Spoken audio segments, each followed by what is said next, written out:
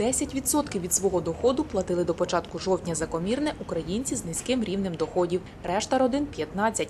З початком цього опалювального сезону держава забезпечила більш адресний підхід при нарахуванні компенсацій, кажуть у Мінсоцполітики. Якщо дохід сім'ї становить там на рівні прожиткового мінімуму, нагадаю, він на сьогоднішній день до кінця 2014 року на особу в середньому становить 1176 гривень, то така сім'я в нас буде сплачувати на рівні всього-навсього 7,5% від свого доходу. А сім'я, яка має дохід, припустимо, 500 гривень на особу, взагалі буде сплачувати на рівні там 3% від свого доходу. Аби соціальна допомога для всіх громадян була однаковою, у державі запровадили єдині норми користування житлово-комунальними послугами, адже ті, що були раніше, не відповідали фактичним витратам, констатують у міністерстві. Так, норми споживання газу для населення зменшились.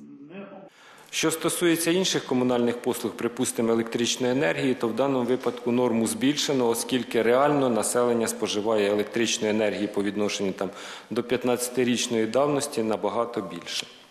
Ще одне нововведення – субсидія нараховується не на загальну площу житла, а на запроваджену державою норму. Її збільшили з 31,5 метра квадратного до майже 49. Наприклад, якщо взяти от минулий рік, то в нас е, е, такі були на користування житлом, наприклад, 21 метр квадратний на одну людину і 10,5 на, на члена сім'ї. Тепер ця норма на користування житлом змінилася. Вона стала 13,65 на е, людину і е, 35,22 це на домогосподарство, що в цілому складає 48,87. Тобто на цю всю площу е, за квартирну плату дається на таку е, квадратні метри е, субсидія. Олеся Леонідівна зараз у декреті. Чоловік отримує мінімальну зарплату. Комуналка в двокімнатній квартирі в неопалювальний сезон 600 гривень. З настанням зими та підвищенням цін на комірне удвічі більше. Вирішили оформити субсидію. Дивлюся 4,37, допустимо, як на мене. Сплачувати 713 це субсидія, виходить. Тобто до сплати дуже добре виходить мені.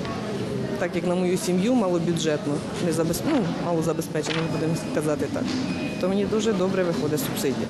А от Меланія Давидівна, користувач субсидії зі стажем. За старими нормами за послуги комунальників віддавала 10% своєї пенсії. Тепер радіє, державна допомога складає майже 400 гривень.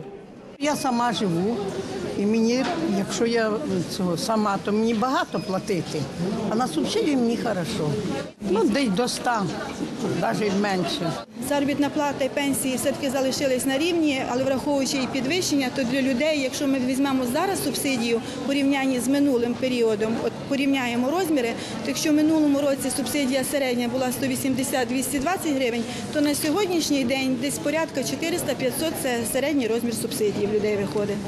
Цього року у місті субсидії отримали 13 тисяч вінничан з 23, що подали документи. Минулого сезону бажаючих отримати компенсацію комірного було майже на 4 тисячі менше. Тетяна Орлова, Вадим Інжиєвський, Олег Літвінцев. Новини телеканал Віта.